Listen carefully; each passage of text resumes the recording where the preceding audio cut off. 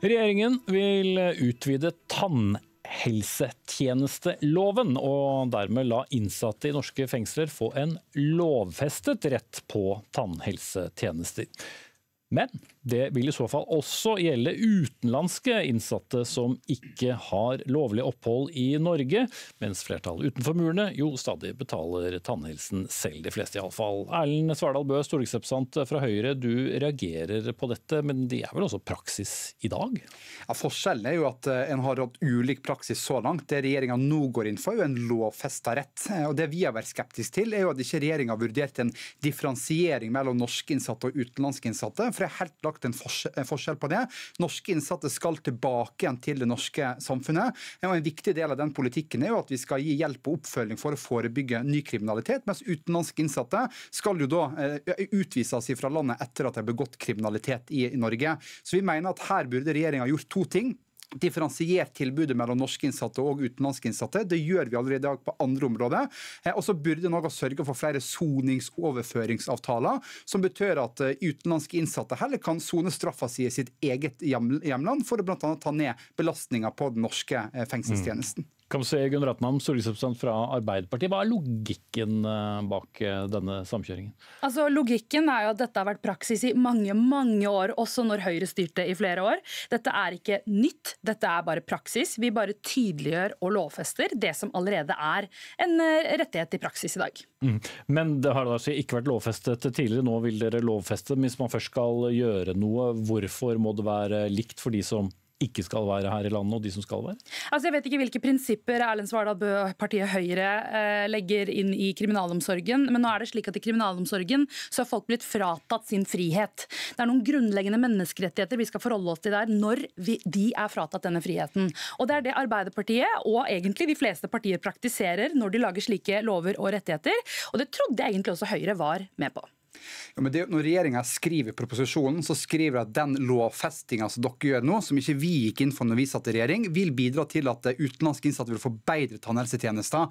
Og Jeg mener virkelig at det er helt andre grupper i samfunnet vårt som trenger den type ressurser og prioriteringer.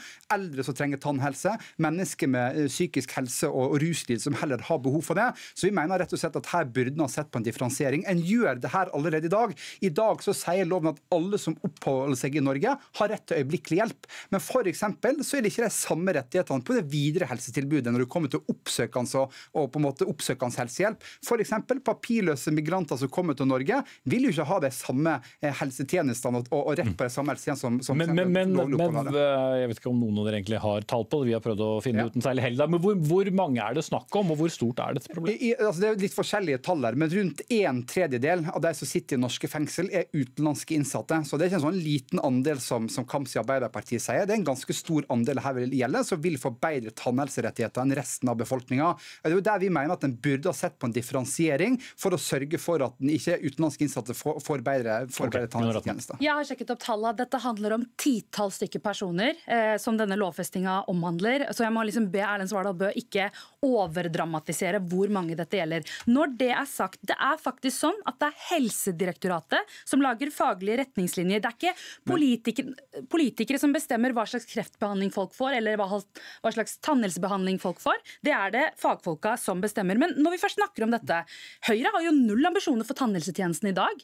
Vi har sørga for ved hvert eneste budsjett, og revidert budsjett siden vi kom inn i 2021, eh, til sammen 1 milliard kroner for å utvide den offentlige tannhelsetjenesten. Det er ikke Høyre med på. Vi lovfester også for mennesker med rusproblemer, eldre mennesker, folk med ulike typer uh, Jo, men nettopp derfor så vil vel mange synes det er rart at dere også prioritere utenlandske kriminelle som ikke har oppholdstillatelse ja, det er ikke snakk om eh, veldig mange, men symbolikken er jo ganske sterk, da. Prinsippene er at mennesker i kriminalomsorgen er fratatt frihet. Altså, Vi har frihetsfrarøvetid, men... og måten vi behandler dem på må være bygget på menneskerettigheter. Vi skal ikke behandle dem annerledes. Jo, men Når, når regjeringa sjøl skriver at vi ser at dette er en utfordring, men ser bort ifra det, så anerkjenner jo nettopp at det er en utfordring at utenlandske innsatte får bedre rettigheter enn folk ellers i det landet her. Og Jeg kan godt svare på det som går på den generelle gjelder tannhelsepolitikken, så er det helt riktig at vi i Høyre gjør andre prioriteringer. Vi velger heller å bruke pengene på å få ned de økende ventetidene, sørge for at eldre som trenger det, får sykehjemsplass.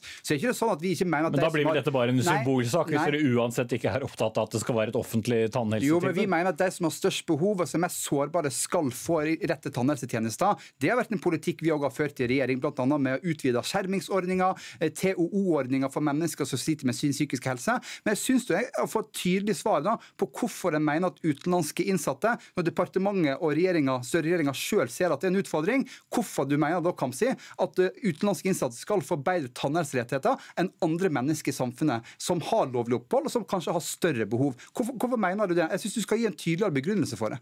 Jeg ga en ganske tydelig begrunnelse. Det er ikke min feil at du ikke respekterer menneskerettigheter i kriminalomsorgen. Jeg mener Det er mye viktigere å snakke om 1 milliard kroner som Arbeiderpartiet i regjering har sikra for den offentlige tannhelsetjenesten, enn hva rettighetsfesting av titalls mennesker betyr for deg. Da er jo spørsmålet hvor grensa skal gå. Da, at Vi forskjellsbehandler allerede i dag. For så er det sånn at Hvis du ikke har opphold i Norge, så har du rett på akutte helse- og omsorgstjenester, men du har ikke rett på et videre helsetilbud av, av, av det offentlige. Så Da må jo Arbeiderpartiet eventuelt svare på om de rettighetene skal utvides til at alle som kommer til Norge, skal få det akkurat de samme helsetjenestene som resten av befolkninga skal ha. Og det mener en ikke skal. Jeg mener det faktisk skal være en differensiering mellom norske innsatser med lovlig opphold og utenlandske eh, innsatte uten lovlig opphold, så skal da utvises etter en soning. Jeg skulle virkelig ønske at eh, Erlend Svardal Bø leste høringssvarene som har kommet inn. Ja, det det Dette forslaget får bred støtte fra de fleste høringsinstanser. Og det er faktisk sånn at de aller fleste behandlinger av disse menneskene er akutte behandlinger. Fordi deres helsetilstand jo. er sånn. Så det er noe med at vi er ikke fagfolk, Erlend. Vi skal ikke sitte og bestemme hva slags behandling Men, folk får. Jo. La meg snakke ferdig. Det viktigste er at fagfolka bestemmer hva slags behandling disse menneskene trenger, og de er ofte jo, men, men, akutte behov. Men Kamsi, vi er helt for at du skal kunne gi akutt tannhelsebehandling til utenlandske innsatte.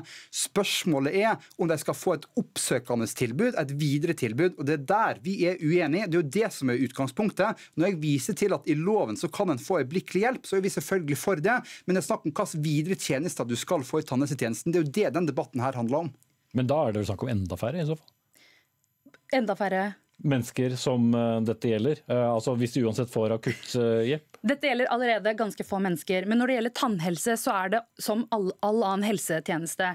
Vi må jobbe forebyggende sånn at vi slipper å ha de store kostnadene etterpå. Det samme gjelder for mennesker der ute, og det samme gjelder for mennesker i kriminalomsorgen. Når vi bygger ut tannhelsetjenesten i det offentlige, så handler det også om å være forebyggende. Disse menneskene skal ikke vente på når de har akutte behov, med å få den tjenesten de faktisk har menneskerettighet på. Mm.